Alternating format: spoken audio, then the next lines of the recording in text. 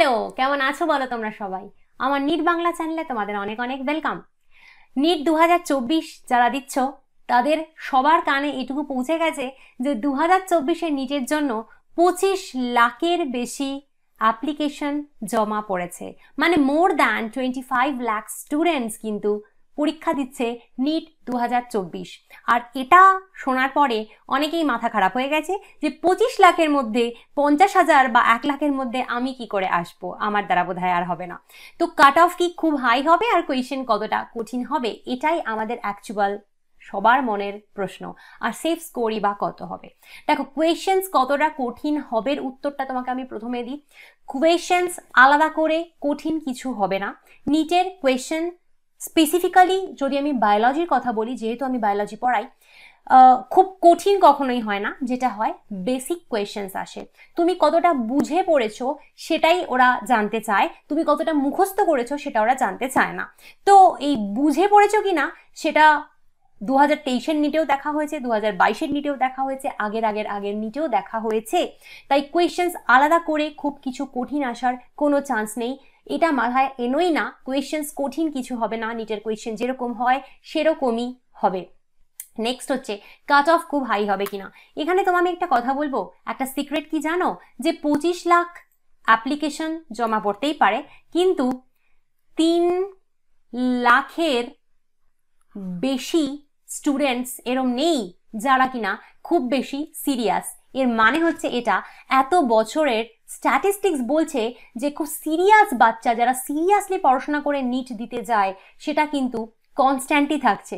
সেটা দশ লাখ হোক, সেটা পনেরো লাখ হোক, সেটা পঁচিশ লাখ হোক, আর সেটা পঞ্চাশ লাখ অ্যাপ্লিকেশানই জমা পড়ুক, যাই হোক না কেন।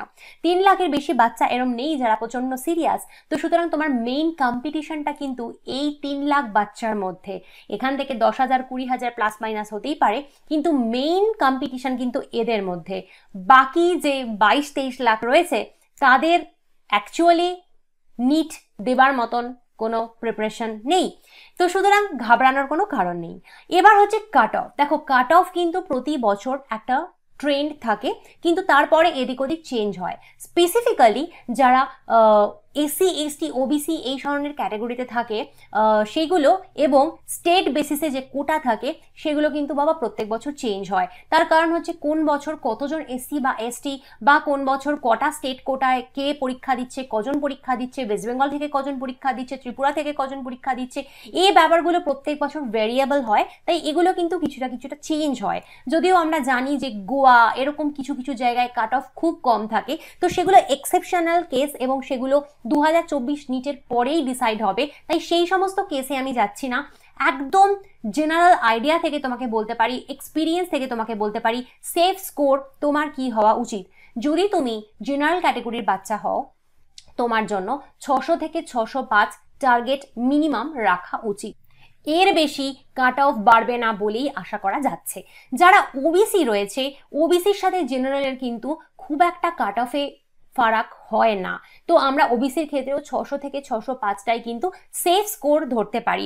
এরপর এটার মানে এই নয় যে ছশোর কমে কেউ চান্স পাবে না। একজন, দুজন ছশোর কমেও পেয়ে যেতে পারে, কিন্তু আমি এটা সেফ স্কোর বলছি। মানে এটা হলে তুমি সেফ যে তোমার হয়েই যাবে। যারা এসসি রয়েছে, তাদের জন্য চারশো ষাট থেকে চারশো সত্তর।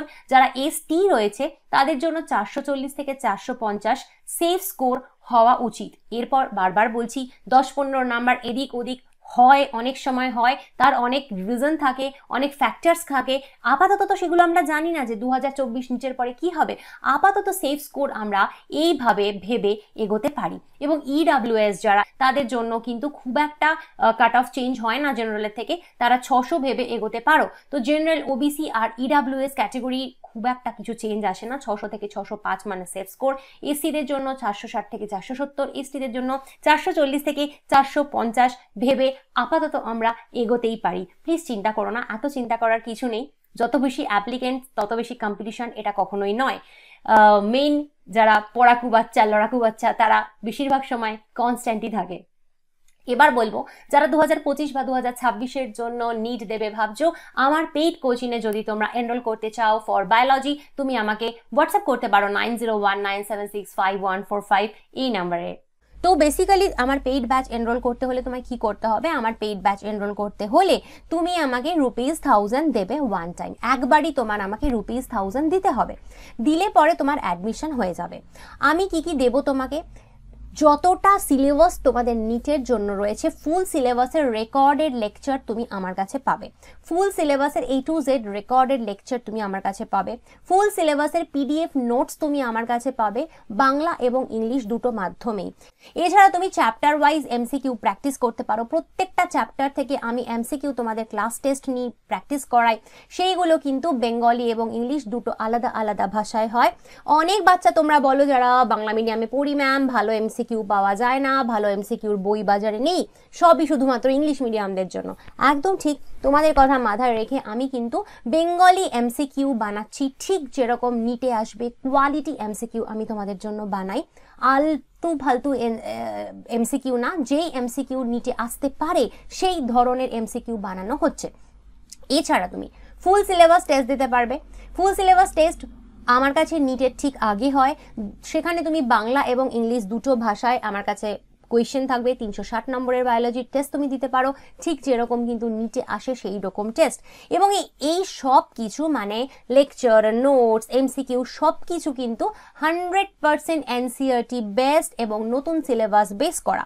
আমি এনসিআরটির বাইরে থেকে কিছু পড়াচ্ছি না কোনো দিন পড়াবোও না কোনো দিন পড়াইও নি, কারণ এর বাইরে কিন্তু নিটে কিছু আসে না। তো একদম নতুন সিলেবাসের ওপর ভিত্তি করে এইভাবে আমি তোমাদেরকে পড়াচ্ছি এবং তোমাদের সাথে আমার স্টুডেন্টস ইন্টারাকশন হয় হোয়াটসঅ্যাপের মাধ্যমে। হোয়াটসঅ্যাপ পেইড গ্রুপ রয়েছে আমাদের, যেখানে তোমাদের সাথে আমি কানেক্টেড থাকি।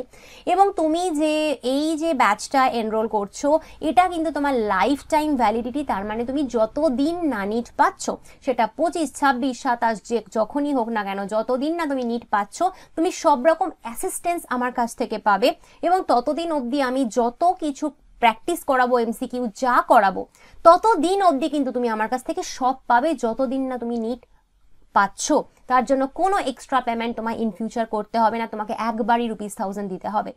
এছাড়া হচ্ছে ডাউট ফর্ম তোমরা বলতেই পারো যে ম্যাম রেকর্ডেড লেকচার তো দিচ্ছেন, তো আমাদের ডাউট হলে কি করব? তোমাদের ডাউট হলে অবশ্যই সেটা ডাউট ফর্মে লিখে সাবমিট করে দেবে, সেটা আমি তোমাদেরকে ফর্মের তোমাদের ডাউট দেখে তোমাদের ডাউট আমি মিটিয়ে দেবো।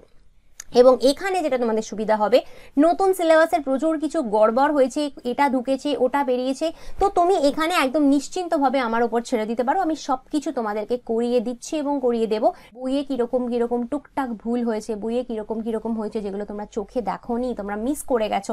স্পেশালি বাংলা মিডিয়ামের বাচ্চারা তো এরকম বইই পাচ্ছে না, ওরা কারেক্টেড ভার্সন দেখতেই পাচ্ছে না। তো সব কিছু কিন্তু তোমাদের দায়িত্ব নিয়ে আমি আমার ব্যাচে সাপ্লাই করছি। সেটা যারা পড়ে তারা জানে। ঠিক আছে? আর যদি ইউটিউবে তুমি কন্টিনিউয়াস এইভাবে নোটিফিকেশন পেতে চাও, ইউটিউবে সব কিছু আমার থেকে এভাবে জানতে চাও ফ্রিতে যেমন আজকে জানালাম, তাহলে কি করতে হবে? আমার চ্যানেলটা অবশ্যই সাবস্ক্রাইব করে দিও। চ্যানেলটা ভালো লাগলে ভিডিওগুলো ভালো লাগলে ভিডিওগুলো লাইক কমেন্ট শেয়ার করতে ভুলো না। তো আজকে আসছি, পরের দিন অন্য কোনো ভিডিও নিয়ে আসব। Bye bye